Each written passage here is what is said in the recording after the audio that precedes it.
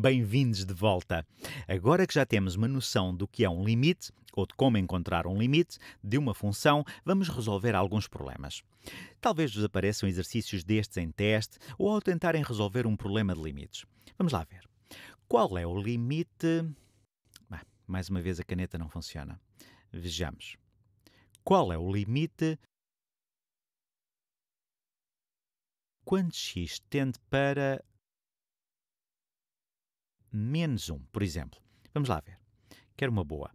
Imaginemos que a minha expressão é, vou colocar entre parênteses para que fique mais organizado, 2x mais 2 sobre x mais 1. A primeira coisa que faço é perguntar-me, o que acontece se introduzir x igual a menos 1 nesta expressão? Quanto é 2x mais 2 quando x é igual a menos 1?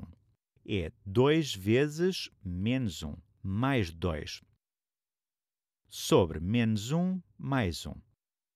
No numerador fica menos 2 mais 2, que é igual a 0, sobre, quanto é o denominador, menos 1 mais 1, sobre 0. Sabemos quanto é 0 sobre 0? Não, é indefinido. Aqui está um caso, tal como vimos no último vídeo, em que o limite não pode ser igual ao resultado da expressão quando substituirmos x pelo número cujo limite pretendemos encontrar. Porque quando o fazemos, obtemos uma função não definida. Vejamos o que acontece quando tentamos calcular o limite. Como estamos a começar a trabalhar nestes problemas de limites, vou desenhar um gráfico. Acho que isto vai ajudar-vos a perceber o que estamos a fazer. Provavelmente até vos dará a resposta. Depois, vou ensinar-vos a resolver isto de uma forma analítica. Se desenhar um gráfico,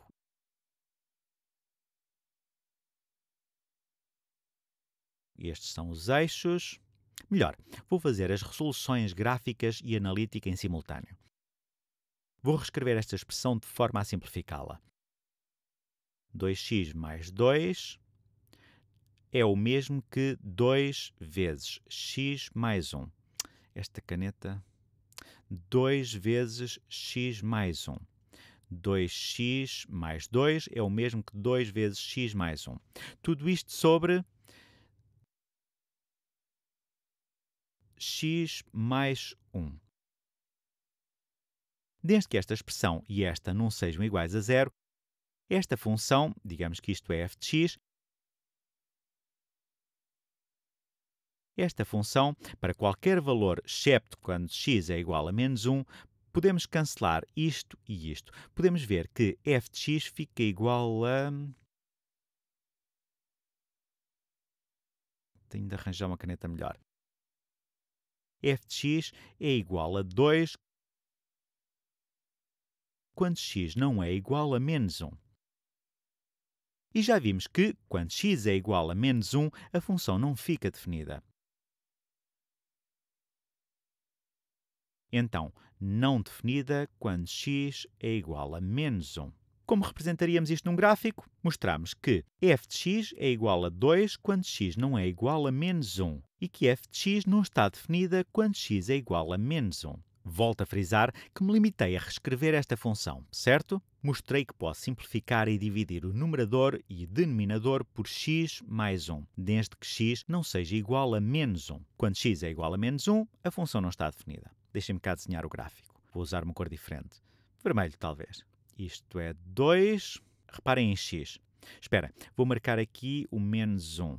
Para qualquer outro valor, exceto o menos 1, o valor disto, de f de x, é igual a 2. Aqui temos 1, 2, 3. Não percebo porque é que esta caneta deixa de escrever. Aqui é 3 e por aí adiante. Quando é menos 1, o gráfico não está definido, portanto há um vazio ali. E depois continuamos para a esquerda. Se quisermos determinar o limite, basta olhar para podermos dizer que quando x, vou usar outra cor, quando x vem da esquerda, quando x vem deste lado, f de x é igual a quê? É igual a 2, 2, 2. f de x é sempre igual a 2, até chegar a x exatamente igual a menos 1. Do mesmo modo, quando nos aproximamos do outro lado, acontece exatamente o mesmo. f de x é 2, 2, 2, até chegar a menos 1. Verão, acho que até dá para perceber visualmente aqui que o limite 2x mais 2 sobre x mais 1, quando x tende para menos 1, é igual a 2. Vou traçar uma linha aqui para não vos baralhar. Não estou a provar formalmente que o limite é 2, mas estou a mostrar-vos de forma analítica. É assim que se faz neste caso. Simplifica-se a expressão e vê-se qual seria o valor de f de x se não houvesse um vazio aqui. E depois calcula-se o limite. Acho que isto já vos permitirá perceber, mas esta não é uma solução formal. A menos que vos peçam uma solução formal, o que não é habitual em geral, pergunta-se qual é que é o limite e esta é uma forma de o calcular.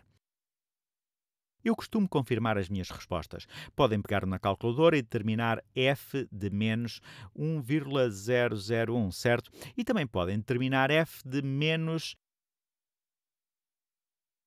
0,999, certo? Porque aquilo que se pretende saber é para que valor tende a função quando x se aproxima cada vez mais de menos 1.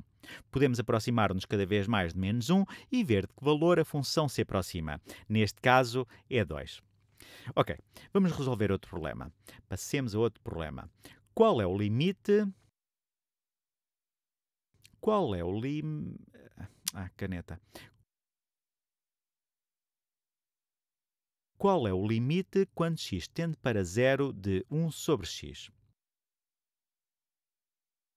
Aqui parece-me que será útil desenhar este gráfico, porque isto dar-nos-á uma representação visual. Aliás, façamos de ambas as formas. Usemos o método de escolhendo números. Talvez isto nos ajude a perceber e a desenhar o gráfico. Imaginemos que aqui temos f de x. f de x. Percebe-se bem que as minhas apresentações não são nada planeadas. f de x é igual a 1 sobre x. E queremos determinar o limite, quando x tende para zero. Quanto é f de... Vamos fazer uma tabela de valores de f de x.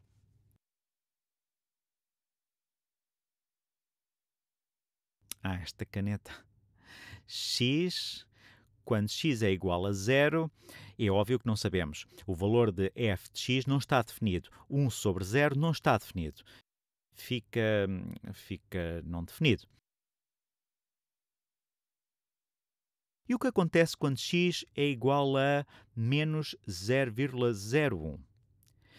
Quando isso acontece, 1 sobre menos 0,01 é igual a menos 100. E quando x é igual a menos 0,001? Estamos a aproximar-nos cada vez mais de zero pelo lado negativo. Aqui é igual a... Deixem ver se a caneta está a funcionar, a cor está certa. Passa-se alguma coisa com esta caneta. O meu computador também está a falhar. Tenho de ver o que é que se passa. Ah, acho que o meu computador bloqueou. Vou tentar resolver isto no próximo vídeo. No próximo vídeo vou continuar com este problema. Até à próxima apresentação. Vou tentar perceber porque é que a caneta não está a funcionar, para depois continuarmos a resolver este problema. Até muito breve.